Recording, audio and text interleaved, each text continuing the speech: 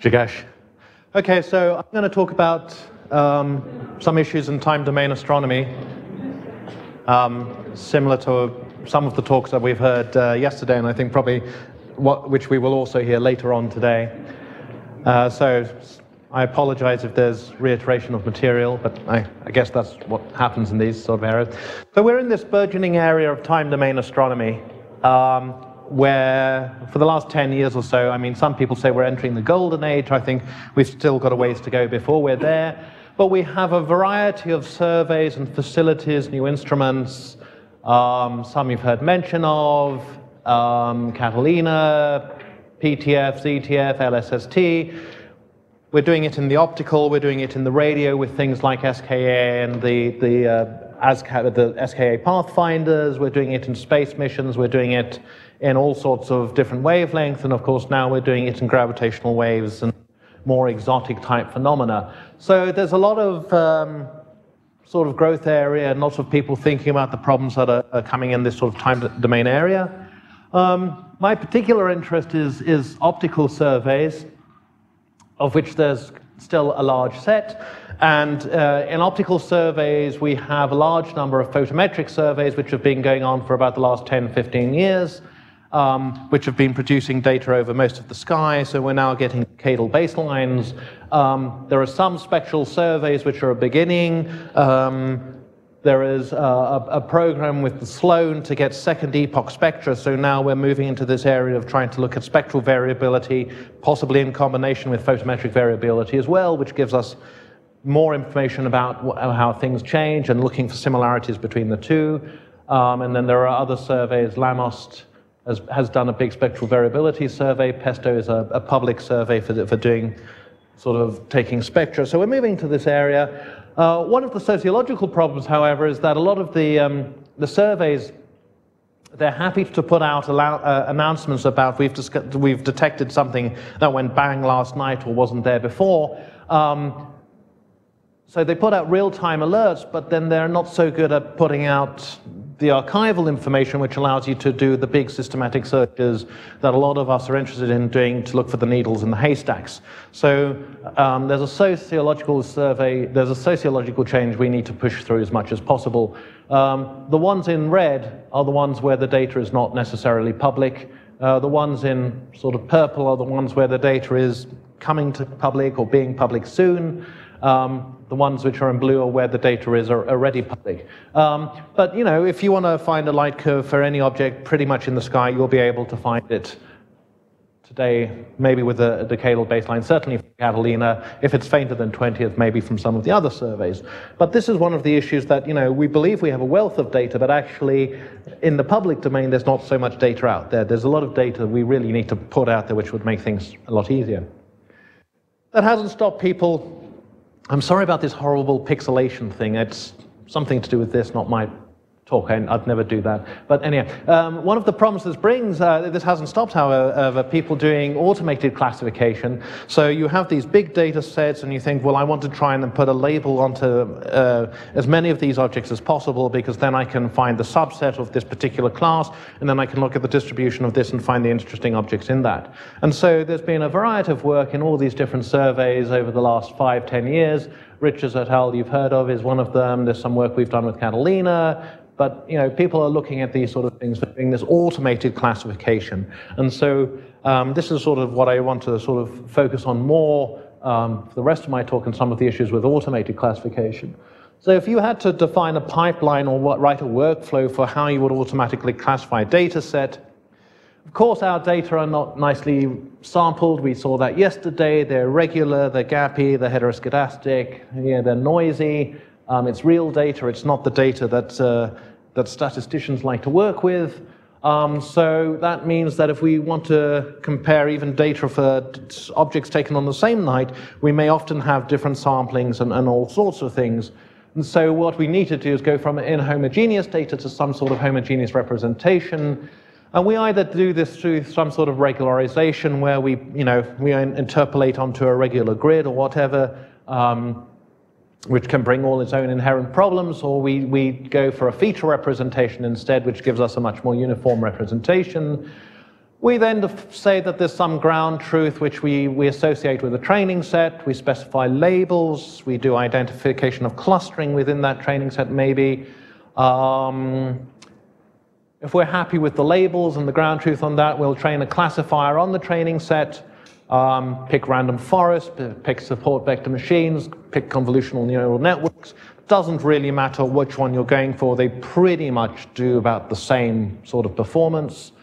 Um, you may want to do ensemble methods, so have a sort of two-tier approach sort of wisdom of the crowd sort of thing. Then, of course, you verify it on your test data set, and then this will give you false negative and positive rates, or it may give you an ROC curve you want to, if you want to be a bit more exact about knowing how well you're doing or where, where the areas are. And then, of course, what you do is, you know, once you're happy that you've got something that works to, to the level that you're, you believe you can get, you apply it to the full data set, so you know you've trained on 100,000 objects, and then you apply it to the 500 million that you have access to. And this allows you to either do population statistics to say that this class of object occupies this bit of a high dimensional parameter space, or to do outlier detection and say, well, these are the objects which don't clearly fit within this class or have some sort of strange behavior that this particular representation we have that captures. So Let's look at some of these. In, in, so we have interesting objects like this, and we have boring objects like this. These are both AGN, which is the sort of uh, trans or the, the sort of class of object that I'm interested in. And of course, to be able to compare these, as we say, we were saying yesterday, we come up with these, uh, these feature representations. Um, and, and I hope that this defines some sort of high dimensional space where these, these different objects will stand out as occupying different areas. Um, sort of common statistical features that we see in the literature, timescales, Lomsdal-Guilford period, variability measures. Um, Ashish talked about Stetson indices yesterday. There are sort of measures of morphology, statistical measures, um, flux ratios, that sort of thing. People look for trends, linear trends, or maybe slightly different trends. And then there are these sort of model decompositions where you look at Fourier amplitude ratios, phase differences, whether you're looking at normality tests. Um, in some ways, these are very lightweight features, I would argue. Um, I think there's a lot of work that can be done on identifying features which have more of, of a physical phenomenological basis in terms that, that we, we understand that we're doing with, dealing with physical objects here, we're dealing with hot gas, and we're dealing with you know, gravity and that sort of thing. And we can think that there are physical processes which are involved, which may be chaotic, or they may be long-term memory processes, or they may be um, you know, turbulent process or whatever. And are there features that we can identify from that basis um, which would allow us to you know, detect the, the, signatures of those things in time series. And so I think there's a body of work to be done there, and that's some of the stuff that we've, we've um, we've sort of thought about a bit. Um, one of the other issues, though, is, you know, in a lot of this statistical analysis, and I know that James is going to talk more about some of the statistic issues of, of, of this stuff later. Um, you know, there are a number of un, unstated assumptions that we make when we talk about these things. Um, we've already talked about homoscedasticity and heteroscedasticity, or Ashish mentioned it yesterday. You know, it, it's, it's complete fallacy to believe that our error model can be the same for all of these. Um, another thing is that the, the, the, data is not necessarily identically and um, independently distributed. Our data is, is time series, it's sequential, and if the delta t between the, the observations is sufficiently close together, that means that the errors will be correlated. Um, which, which could be problematic. There's this other general assumption about, about stationarity, so that the generating distribution on the underlying process is, is time independent. But again, this doesn't need to follow. There's this particular object which uh, Eric Feigelson is, is um, keen to point out, which has at least 20 variability states in it. 20 different identifiable states in it. So it's clearly not stationary. Um, there are these GARCH models which actually don't describe AGN particularly well, but it's a form of autoregressive model, and in this, you treat variance as a stochastic function of time. And non-stationary time series don't need to necessarily be stationary at any particular limit. I mean, we sort of assume weak stationarity, but there's no reason why, you know, very turbulent gas flowing around in a strong magnetic field should necessarily be stationary. Um, there's also this idea of ergodicity. The time average for one sequence is the same as the ensemble average. Um, and you hope that uh, observations are sufficiently far apart in time or uncorrelated and that new observations give extra information, therefore, about what's going on. Um, this is uh, somewhat untested. I mean, we sort of assume it when we do it and hope that it's true, but um, it's not necessarily tested, and you, you could, you know, there may be processes out there where, where it's not true.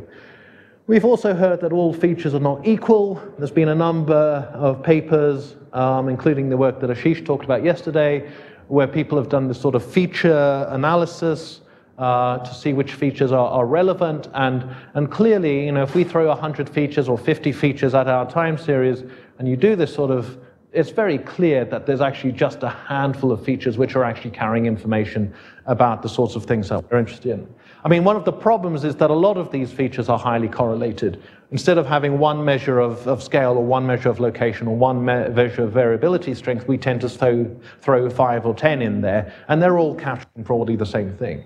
So I think this is again another reason why I'm, I'm more interested in things like you know, put in the Lyapunov exponent, which will give you maybe some um, some measure of chaos in your system, or put in something else which is going to, you know, if you're limited to the amount of computation time you have per light curve to, to extract information, we should be a lot smarter about the sort of information we want to extract. The most important feature that comes out from a lot of these analyses, particularly with stellar astronomy, is period, because a lot of stars are periodic. Um, and there are many features which are based, first of all, you find the period, and then assuming a period, and we saw this with a lot of the stuff yesterday, there are things that we can do, you know, fitting a Fourier series, deconvolution, that sort of thing. Um, but what's interesting is that there's been some analysis, to Tabath et al. showed a 22 mis, 22% misclassification error um, with an incorrect period. So if you get your period wrong, it screws up the rest of your system as you go down the line. And Richards et al. showed that you know, periodic feature extraction routines count for 75% of the time. So you better get your feature right because you're spending most of your computation time on period-related feature extraction. Um, but there are domain knowledge constraints that are coming in um, about whether you know, having a single number for a period is right or not. Kepler, uh, Kepler um, analysis of RR Lyrae have shown the sort of Blazhko behavior, which is where you get period flipping. Um, they've also shown small amplitude cycle-to-cycle modulations in RRab. So our idea that RR Lyrae have a single period and don't change is, is changing as we are getting more into time series analysis. Um, there are close binaries and, and, long period variables where the cycle period changes over multiple decade baselines. We're finding these things now with, with the DASCH um, for example, the, the, the uh, digitized photographic plates where we're getting these multi-decade baselines, we're beginning to see how these things change. What's the period in that? Semi-regular variables, which make up a far a large chunk of, of stellar things, they have double periods, they have multi-periodicity, you can't, can't really have a single period feature for that, it doesn't make sense. Um, what about things like ARMA models, the sorts of things that um, Jackie was talking about yesterday, when you have the, the, the peak in the, um, in the power spectrum, that gives you this quasi-periodicity. Is, is that a, a, a, true feature, or is it a, a, statistical feature of the process? And then there's the trustworthiness of quoted periods that we see in literature. So uh, period finding is not a single algorithm as well. You know, you can go and look at all the, I think there are at least 25 different period finding algorithms in the astronomical literature over the last 30 years. Lomb-Scargle variance, you can do this least squares fitting to a set of basis functions, pick your choice of basis functions, or you can do this sort of more non-parametric phase dispersion, phase dispersion measure and phase-based approach. Um, and then there are sort of more sophisticated ones you do. Which one is the correct one? Which is the best one to use? So we did an analysis a few years ago on this and came to the conclusion that from a general set of stars, no algorithm is generally better than about 60% accurate across a field of classes of, of stellar populations. Now, if you could take one small class, you can, of course, fine-tune your algorithm to be good for that. But if you want to say, here's a set of data, find me the period of everything, generally you're going to get 60% accuracy on your period and, and no better. All methods are dependent on the quality of light curves and show a decline in period recovery. Um, some are stable with uh, small numbers in, some are not. Um, algorithms tend to work best with things which are sinusoidal, so pulsating or eclipsing variable stars. If you have things which have a non-sinusoidal non waveform, you get problems.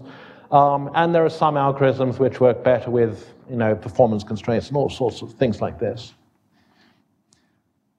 But are we necessarily using the best features? Um, there's a lot of domain knowledge, as I've said, we should be including into this sort of thing. We should also be modeling time series via generative models rather than these sort of discriminative features. Because I, you know, there's a lot of stuff that we could then do, and it, it's, it's much better for our analysis, and we can maybe uh, begin to identify whether we have deterministic or, or specific stochastic components in our time series as well, which then helps relating that back to the, the underlying physics. Um, moving on to the classifiers, which classifier should we be using? Should we be using random forest? Should we be, you know, anything? Doesn't really matter. Um, again, if you do the analysis, there are certain classes which are uh, preferred more by certain classifiers than others. Um, you can get better results if you use an ensemble classifier, something like a generalized stack classifier, which is what this is. So you have two levels here, you have a whole suite of different initial ones, and then you take the results of that, and that gives feature vectors for a sort of second tier one, which you can then use, and that gives you um, the sort of you know wisdom of crowds type approach, and you can go from 90% accurate to 99% accuracy. So that's maybe one sort of thing we want to be thinking of. There's an issue which came up yesterday, of course, that we, how do we deal with these uncertainties? We have these all sorts of uncertainties, our time series of observation areas in flux and time. We never really consider in, in astronomy the time areas. Um, regularization or imputation add interpolation uncertainties. Model parameters, hyperparameters have their own uncertainties. Feature representations don't traditionally deal well with these, and this is an issue that Raphael brought up or was, was, was certainly concerned about yesterday. And of course, they'll introduce their own uncertainties. How do we do this? Um, really, we want to be working with full PDFs for each classification. The uncertainty quantification that um, group five, is it? Group seven? I forget which group is. Do you remember? No. Yeah, there is a group who's working on this, so which is which I'm, I'm pleased to hear. And we can either do forward uncertainty propagation or backwards uh, inverse uncertainty propagation. But it's it's one of these things that we, we need to be concerned about. Um, a caveat with um, automated classification. Um, Kim et al. 2014, they used a random forest classifier to automatically detect periodic variables in the EROS-2 dataset. Szynski et al. 2016 did a reworking of this, and they found that 4,500, or nearly, nearly 4,500 sources were missed in a new collection of RR Lyrae in the same data set. And what they found is that there are about 3,000 which have a, 3,200 which have a counterpart in this database, and they looked at them, and they found that uh, 5% were probably Lyrae, but 95% that were supposed to be Lyrae were misclassified. So the automated classifier was stunningly wrong on, on Lyrae. And so this is something we've got to be really careful about in, in these sort of bulk analyses. Um, you know, um, yeah. It's, it, and, and, and it's nice to see this sort of reproducibility type approach coming in because it gives you a, a, degree of certainty. Well, it gives you maybe a degree of your faith. If you can, if you can reproduce the results fine on the classification using a different approach, it gives you some certainty that the classification is better. Obviously, in this case, it shows that the Kim et al. stuff is not so good. Um, but this then goes to the heart of how do we establish the ground truth? I mean, the ground truth will never be 100% correct. The classifier could have been mistrained, uh, the labels that it was using may have been wrong. Uh, if that's the case, that will raise false negative rates in the data. And if you're dealing with a 100 million object data set, a 1% misclassification rate is highly significant. I mean, that's you 1 million objects that are misclassified. And if you're going to a 30 meter telescope because you think you've got a very rare object, and that's going to use your one night of 30 meter telescope that you've got for the next two years, which is a realistic amount that we may get, you know. One of the problems is that there is a lack of community agreed training sets in stellar variability. Do you go to the general catalog variable stars? Do you go to the variable star index? Do you go to SIMBAD? They all disagree on certain objects on what the class is, which one is right. Who is the, you know, so we need to do something about this in the community. Also, our known class sampling is biased towards certain classes and not representative of the real stellar populations. People are interested in periodic variables RR particularly because they can use to probe galactic structure, but they represent a small fraction of the overall stellar population. What are all those other stars? If you look at this machine, um, this is work done by Jerry Richards itself, a machine uh, classifier. 20% of their objects were semi-regular variables, 20% of objects were small amplitude red giants. RR Lyrae in that data set is, is a few percent. So, you know, there are these objects which are much more representative of the stellar population, which we don't, we just sort of lump in this big thing.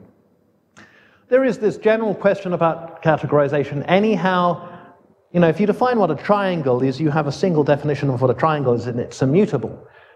Problem is, our definitions are based on historical knowledge, and so that means they're based on snapshot samples, and the hope that in these, when we've done this and looked at it and said, oh, this is one of these, and this is one of these, and this is one of these, that we've actually captured enough of objects at all phases of the, of the evolution of, of, of stellar or, or galaxies or whatever. Now, you can have analytic class definitions. You know, these are ideal, these are theoretical. I have a model of how stars work, and I believe that they should follow that, and so this is clearly one of those.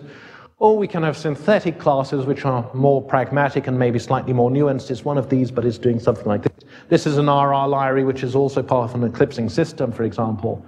Um, but what I would argue is that with these big services like LSST and ZTF that we're moving into, we're now entering this era of precision classification. People talk how we are entering the era of precision cosmology, but we're going to have so much data out there that we can actually go for this sort of pragmatic, nuanced approach to say, you know, what is actually in the data in terms of what can we see? There's a small group of objects which behave like this, and we're going to call them, you know, class X or whatever, but we have a good idea of what they do because they occupy this particular region of space.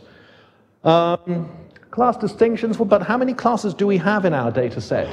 You know, we can have a very high level definition where we say it's an extrinsic or an intrinsic uh, physical mechanism which is going this, or we go slightly low level and say it's eruptive, pulsating, rotating, eclipsing, cataclysmic. But one of the problems is these sort of standard automated classification assume, uh, schemes assume mutually exclusive classes.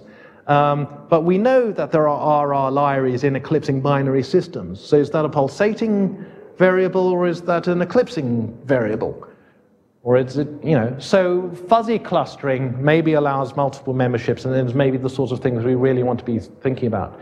Do we want to go to unsupervised learning to determine clusters? But then if we do that, which clustering paradigm are we going to use? Do we want to do partitional, hierarchical, density-based, that sort of thing? And are the clusters that, you know, if I throw an unsupervised learning algorithm at a data set and it tells me those are there are five clusters there, are those physically realistic or is that just you know, the partitioning up of that particular data set that I have. Um, an important class that we need to be considering actually when we're doing anything is this other class. If you go back to this machine learning classification they had, 60% of the objects were in the miscellaneous class.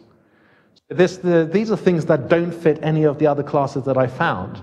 So this goes to some of the stuff that was being talked about yesterday. You know, if you have something that's 85% RLRA, fine. What happens if it's 20% all of those classes? Well, then you shove it in the MISC class. And actually, in the Catalina periodic variable catalog, the most accurately classified class is the aperiodic noise class. Because everything in there is aperiodic and noisy, but you know it's aperiodic and noisy with a high degree of certainty. One of the other issues we have are, if we're looking at outliers, these extreme objects, um, there's no reason why the characterized variability of every type of observable source in the observable universe over a decadal baseline should be Gaussian. And it's probably not. But one of the issues is that if you assume that you're looking at then a heavy tail distribution, you can't assume a generic heavy tail distribution because it can't be estimated. You need to actually pick a family or a class of heavy tail distributions if you want to assign a significance value to your outlier. There's also no formal there's no formal statistical definition for an outlier that I can find. Um, and you can show that the presence of outliers has no connection with the existence of heavy tails or with experimental error. Um, there may be other definitions of outliers that we want to be looking at. Um, I'm playing around with some topological data analysis stuff to to sort of define things, uh, uh, outliers as something with high persistence, so it never really, and marginal connectivity. So, you know, in your um, connectivity of your data set in your high dimensional space, these are things that always don't connect very well. So it may give us something that's not density based. There are further challenges for automatic, automated classification.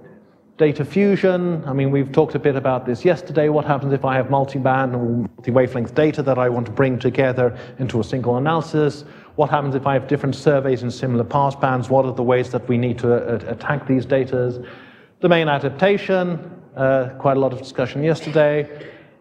Less discussion so much on performance and hardware, but you know, if we have 100 million light or 500 million time series that we want to classify, we want a very low mean characterization time for a time series. And what computational resources are available to us to do this sort of work? And what happens if I get new data? How do I do the reclassification? Are there streaming techniques that I can do which will mean that it's just a delta on the computation time, or do I have to redo the whole workflow again? So, you know, th there are challenges for methodologies for, for this sort of thing.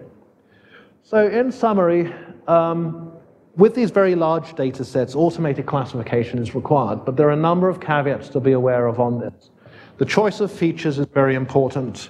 Um, the inherent assumptions in using those features we need to be very clear on, and we need to be very clear with the astronomical community what those assumptions are so they're not just going to pull something off the shelf and use it incorrectly, and what the dependencies are. We need to know how uncertainties propagate through the system. I think you know, there was discussion yesterday on that, that we don't have a clear idea of how that works through that. You know, how do we construct the PDF properly from all this? The choice of learning algorithm, if I'm doing machine learning, seems to be relatively unimportant, but there are dependencies on that as well. Uh, ground truth, we had some discussion about that yesterday and what it assumes and reflects. Class assignments available and their realities, and then there's this issue of, of outlier detection. Um, and then there are further considerations about the, you know, the data fusion, bringing stuff together and performance. Um, but the promise is that there are, you know, if we have 100 million time series, and you've got a phenomena which is a 1 in 10 to the 1,000 or 1 in a million phenomena, you can still get a collection of objects of 100 or 1,000. And this is a, a, statistically significant sample then that we can really use to probe some very, very interesting science and very interesting physics. So I'll leave it there. Thanks. Thank you. Any work that has uh, actually looked for features and tried to classify with features that are physically motivated rather than just geometrical? Uh, yes, we've done some stuff with it. Uh, I mean, we've tried using we've tried throwing a lot of stuff at, um, you know, Hurst exponent or the Lyapunov exponent for doing chaotic sort of behavior. We've looked for some sort of non-linearity features. Part of the problem is that there are, you know, finding ones that work with the regular time series is, is a big issue. Um, and then finding ones that work well with a regular time series where you don't have a lot of data points like we have. Um, so, but there are one or two which seem to be um, may have discriminative power to some degree, it's, but it's unclear yet whether they're picking up statistical artifacts in the data or, or whether they're actually, you could use them to identify different classes. Um, we, we just haven't had time to sort of do that work properly. But I mean, we have um, Ashish and I and a couple of other folks are sort of looking at this sort of thing. Um, but, you know, the, the, there's a vast amount of literature out there in not only in stats but in other sciences where they do these sort of things. You know, climate science, they're trying to do these sort of analysis. And we should be taking what they're doing and applying it to our data and at least seeing if it works. I was thinking yesterday that we astronomers should start reading, I mean, at least people doing time domain should start reading papers that are not on astronomy. Yeah, I already do. So, I mean, yeah. But, uh, but, I mean, there is, there, is, there is stuff out there, but it, it can be, I mean, but then we need to understand the subtleties in applying those things to our data sets and, and that make sure it's actually working and whatever. And that's where we go to the statisticians then and say. And very quickly, your claim that um, the choice of the learning algorithm is unimportant is based on having read a lot of papers that use different algorithms because as you mentioned state of the art is random forest. That's yeah so the uh, references i find. No but i mean so i mean there are people who use random forest there are people who use you know AdaBoost or, or, or stuff like that and they'll say if you're getting above 90% they're all going to get about above 90% and i think given the vagaries of the data sets that we have 93% versus 91% is above 90% and that's as good as you're going to get if you're claiming you're getting to 99%, then that's a different matter. But they all seem to be about that 90% area. Now, it's when you start doing when you start doing the ensemble classification, then that's when you get the boost up to 99%. Um, and and then then uh, and if someone claims 100%, I get very concerned because I think they're overfitting the data. Then, um, you know, no one has a perfect classifier like that. But yeah, getting to 99 from 90 you are looking at, say, 1 million objects, then 10% of 1 million is a very large number. Yeah. Right? And those number of misclassifications is very bad. Yeah. But if you're claiming 99%, you need to give me a very good proof that you're at 99%. No, that has to be a gold standard 99%. So I think uh, one of your comment was about the, the period finding 60%. Uh, it's about 60%. So was that uh, study based on some simulated data? No, it was based on real data. So, where I mean, how the periods were known to be ground truth? So we did a, a small crowdsourcing, and we did wisdom of crowd. I mean, we've got a couple of people who are really expert at identifying periods, who would you could consider to be main experts. And then we also had other people looking at the same object and sort of seeing, do you, do you agree if you don't agree? So, I mean, there is, there is there is an error, there is still an element of error in our ground truth, but it's at of the order of a few percent, not at the order of 40%. Um, and we, we were working with a sample of at least 20,000 periodic variables. So, you know, the, the 60% is broadly across the, the class of periodic variables. Now, if you're talking about a specific class, then you can get a much better accuracy than that. But you know, this, this idea that you have one period finding algorithm which you can use to recover the period of everything, there is no silver bullet out there. I think you know we need to be, we need to have a, a number of them that we're throwing, or we need to have better period finding algorithms. Is there a uh, I mean, I'm just curious. I mean, is there a need to develop a method that works across everything, or can we not just uh, work with period finding that works for a particular class? Well, if you, if, I mean, the whole point is this automated classification. If I have 100 million objects that I want to classify, and it's going to get the wrong period for half of those, I'm going to get the wrong labels for half of those, and the wrong, the features, the, the period, the features which are then dependent on me having a good, the right period are going to have the wrong value, and that's going to give me the wrong label on, on the out when it goes through my classifier.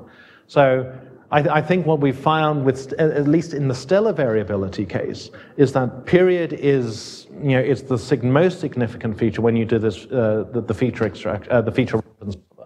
And that being the case, we should put more effort into having, you know, a, an absolutely solid period finding algorithm that has subtleties and nuances. I think James has, has, has done work on this as well, um, to, to some. And I think it also connects to the streaming version that Matthew you don't have good signal, good periods or a set of objects, you can keep them inside. But the moment the point is available, you want to know that you can now have a period for that. And when the next one is available, you want to know that you have a period for that.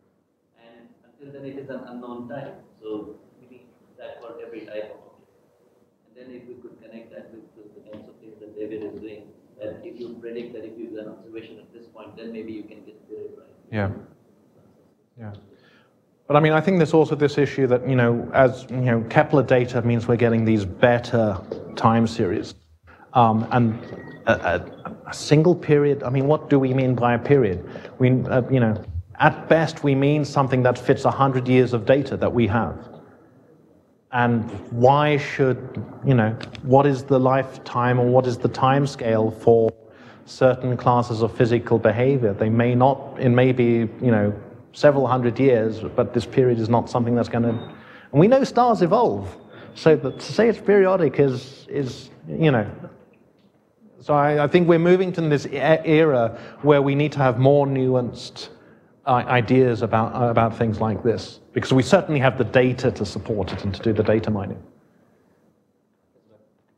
So were people able to get to the bottom of uh, why the EROS data had so many misclassifications? Was it because the physics was not uh, incorporated? Yeah, I think they do in the Straczynski paper. I can't remember the details offhand.